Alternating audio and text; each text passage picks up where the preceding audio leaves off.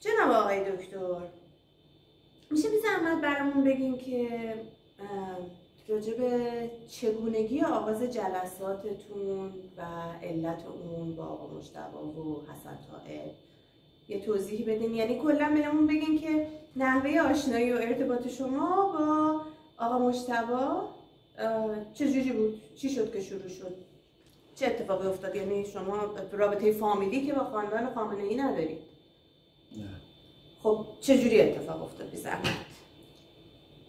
بله در انتخابات ریاست جمهوری سال 76 وقتی آقای خاتمی رئیس جمهور شد در واقع تا اون زمان برای اولین بار فردی رئیس جمهور شد که مورد نظر حاکمیت نبود. یعنی حاکمیت نمی‌خواست ایشون رئیس جمهور بشه ولی به دلیل حالا دلایلی که فعلا قابل ذکر نیست یعنی منظورم اینه که موضوع بحث ما نیست.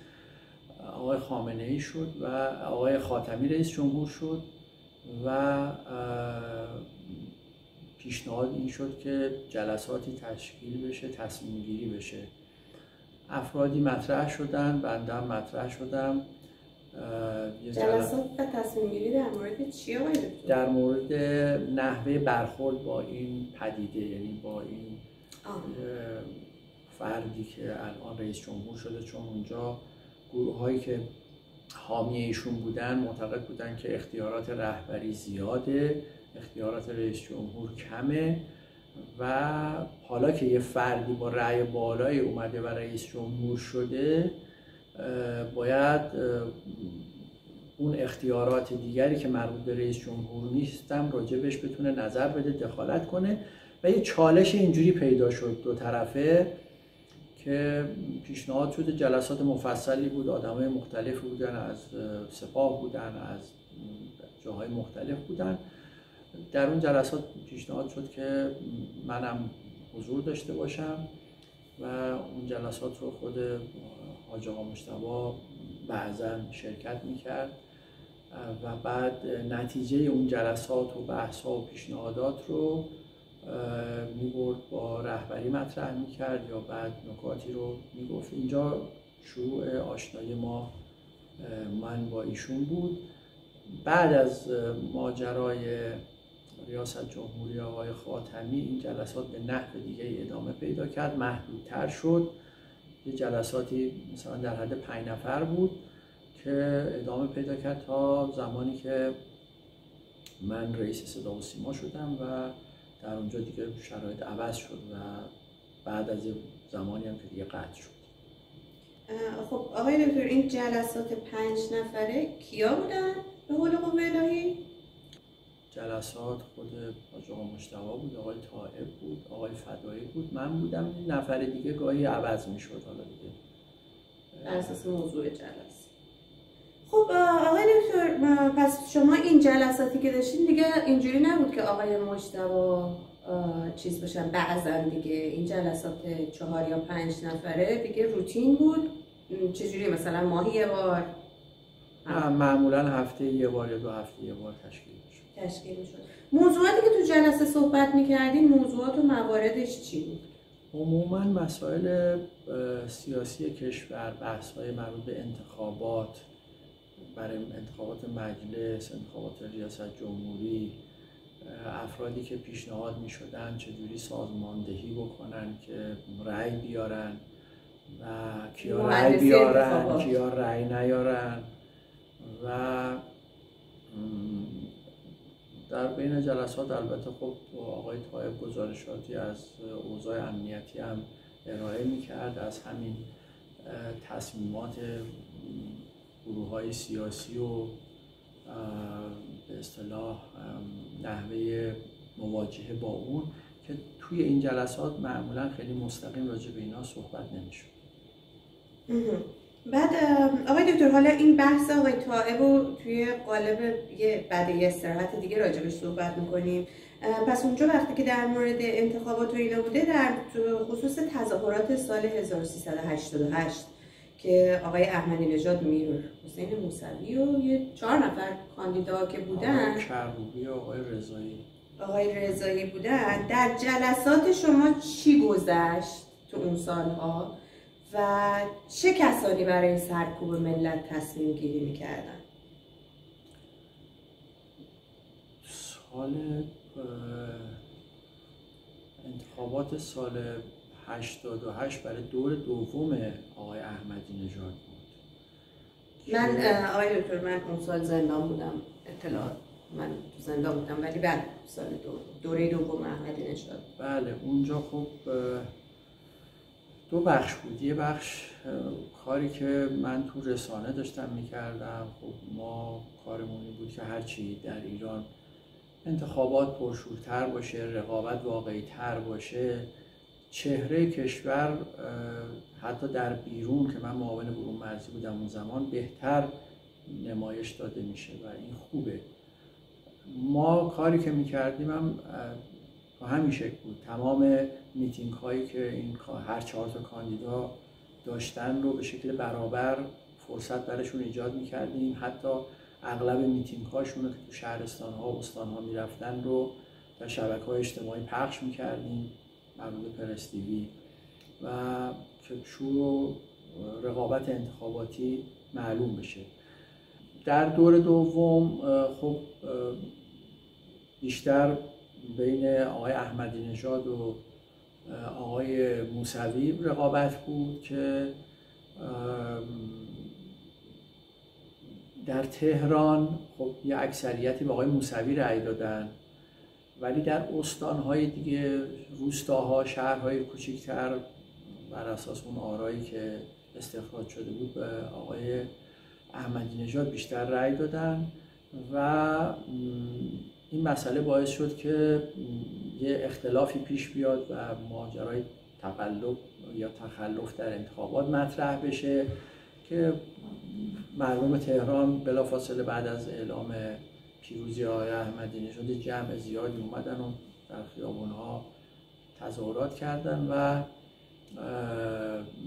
راهپیمایی کردن. راهپیمایی خیلی بزرگی بود. اتفاقا ما شبکه پرستیوی اسنجی هم برده بودیم. داشتیم زنده پخش می‌کردیم. چون ما تمام حوادث انتخابات رو داشتیم پوشش گسترده می‌دادیم و پخش می‌کردیم. که البته بعدا از طریق رئیس وقت سازمان و دستگاه امنیتی جلوی ما رو گرفتن و اسنجی شبکه رو که دستگاهی هست که برای پخش زنده برنامه ها تعبیه میشه رو از خیابون جمع کردن در واقع.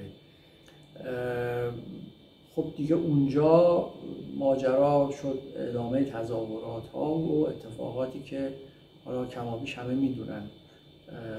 به چه ترتیب هست؟ من در اونجا وقتی خب اختلاف انقدر عمیق شد پیشنهادم در اون جلسات این بود که خب یک حکمیتی برگزار بشه و ماجرا به شکل مسالمت آمیز حل و فصل بشه تا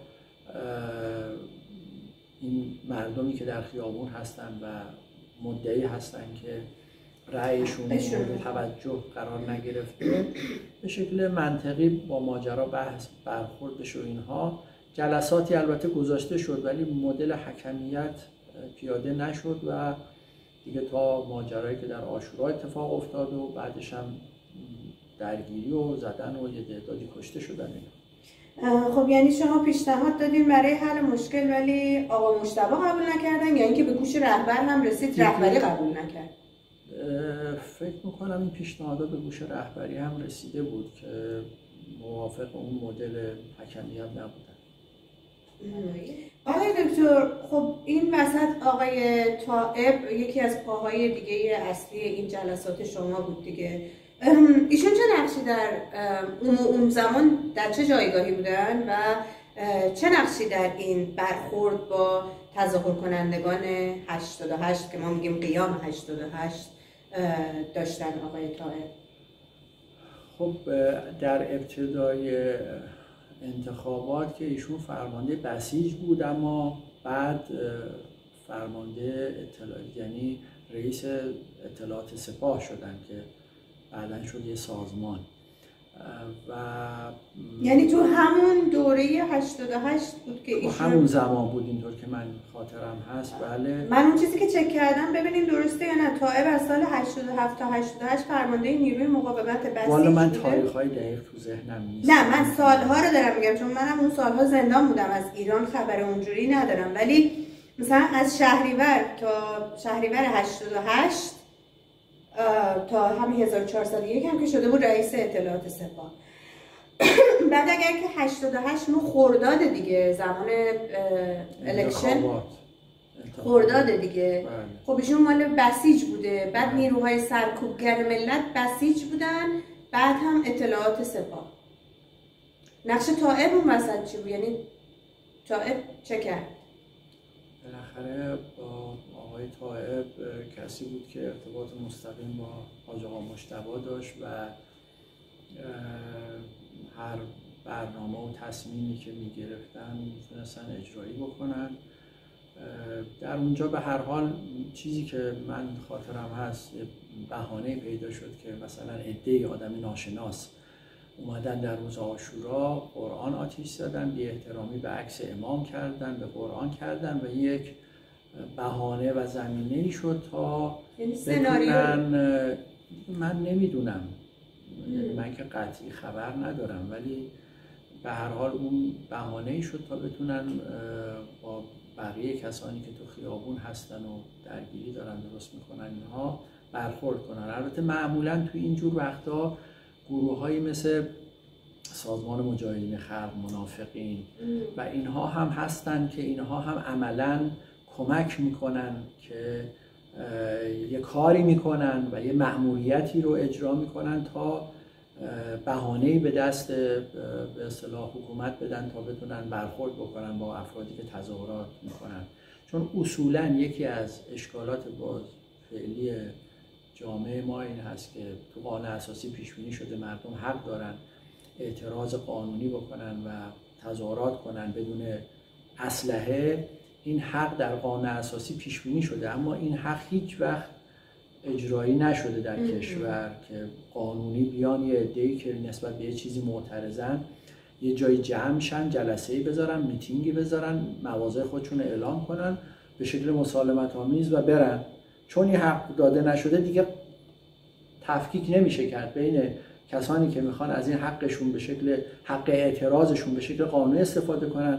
و عده‌ای که نفوذ می‌کنن درشون یا با برنامه میان که اوضاع به هم بریزن کارهای خلافی انجام میدن نمی‌دونم چیز جایی رو آتیش می‌زنن. یه کاری می‌کنن که بعد بهانه به دست نیروهای امنیتی داده بشه که بیان به اصطلاح با اونها برخورد کنن یا حتی تیراندازی بکنن و بکشن. کسی حق نداره تو خیابون مردم رو بزنه به هیچ وجه با اسلحه. و اصلا اصولا ما شعارمون این بود که این حکومت حکومت بر قلب هاست. نه حکومتی که با اسلحه و سرنیزه می‌خواد بر مردم حکومت کنه. ولی خب واقعیت ها به تدریج عوض شده و به اینجایی رسیده که ما امروز داریم می‌بینیم.